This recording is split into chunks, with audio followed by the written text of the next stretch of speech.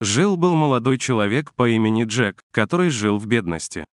У Джека была мечта иметь дом, машину и разбогатеть. Он слышал о YouTube, но не знал, что на нем можно заработать миллионы долларов.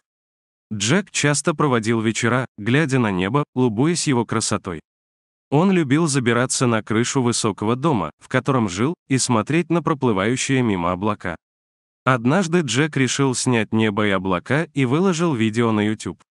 Шли дни, и Джек был удивлен, увидев, что его видео стало вирусным. За одну ночь он набрал миллионы подписчиков.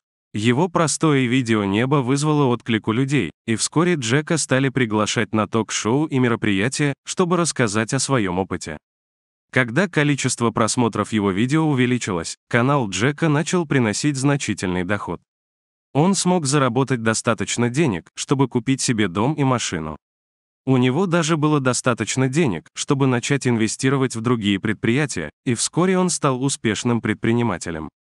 История Джека стала источником вдохновения для многих людей, которые едва сводили концы с концами. Его решимость следовать своей мечте и последовавший за этим успех показали, что все возможно, если верить в себя. В конце концов, Джек оглянулся на свое путешествие и был благодарен за все трудности, с которыми он столкнулся. Они научили его никогда не сдаваться и продолжать двигаться вперед, какой бы трудной ни была жизнь.